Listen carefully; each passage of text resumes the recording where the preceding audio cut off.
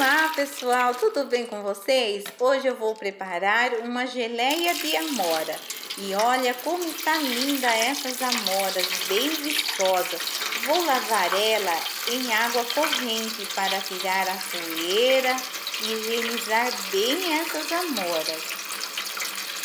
E olha que linda que estão. Aqui pessoal, eu vou estar usando elas com o cabinho mesmo, tá bom? Mas se vocês preferirem, pode tirar. E olha que lindeza que está, bem madurinha e bem docinha que está essa amora.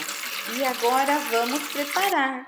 Aqui eu tenho três xícaras de amora e a minha, minha xícara mede 240 ml. Vou estar levando na panela de preferência, pessoal, com a panela mais grossa que você estiver na sua casa, tá bom?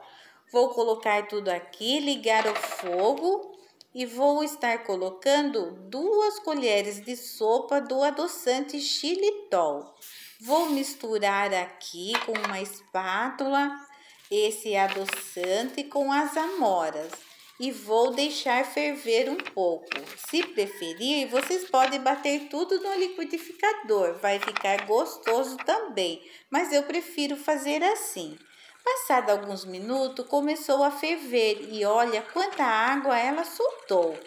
Agora eu vou deixar ela cozinhar aqui junto com essa água até ela começar a desfazer. Aqui já está diminuindo um pouco a água vou deixar secar toda essa água.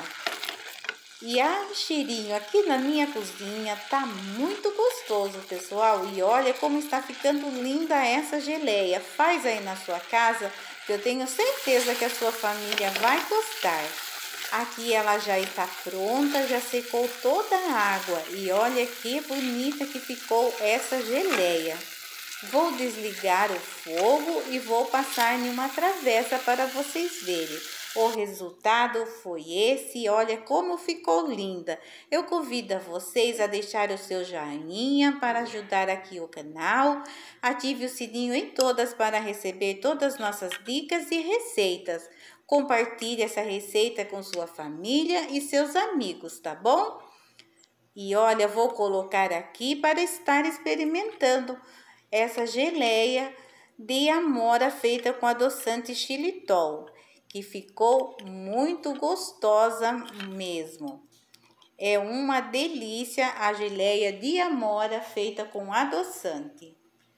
O vídeo de hoje foi esse. Eu espero que vocês tenham gostado. Deus abençoe a todos vocês que assistiram o vídeo até aqui e até o próximo. Tchau!